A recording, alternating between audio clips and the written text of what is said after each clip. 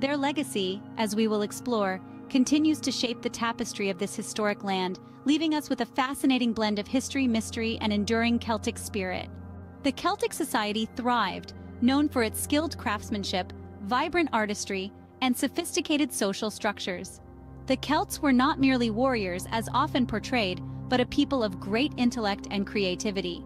They had a deep appreciation for beauty, which reflected in their intricate designs and art forms. Our exploration takes us to the heart of their society, where we discover the Celts' exceptional craftsmanship.